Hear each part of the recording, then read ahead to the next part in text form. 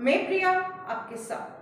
पूर्व प्रधानमंत्री अटल बिहारी वाजपेयी की आज निन्यानवी जयंती है। इस मौके पर सीएम योगी उनके पैतृक गाँव बटेश्वर पहुँचे। यहाँ अटल जी की प्रतिमा और म्यूज़ियम का इनोग्रेशन किया। फिर आगरा से मथुरा वृंदावन के लिए हेलीकॉप्टर सेवा की शुरुआत की।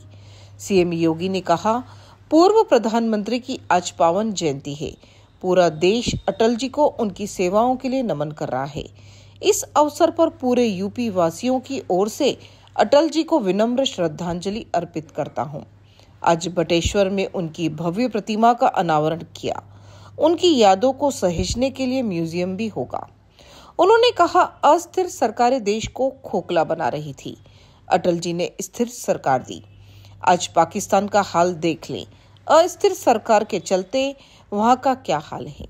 एक एक रोटी के लाले हैं। स्थिरता, आर्थिक समृद्धि का पैमाना बनता है। उन्होंने कहा, पहले बेटियाँ स्कूल नहीं जा पाती थी, किसान खेत पर नहीं जा पाते थे।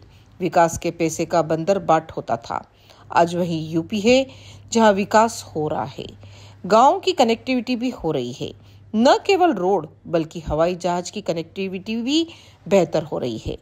जब हम 2017 में आए थे, तब देश में यूपी तीसरे स्थान पर था। आज हम देश में नंबर एक पर हैं। इसी के साथ बने रहिए, एशिया इंडिया के साथ, धन्यवाद।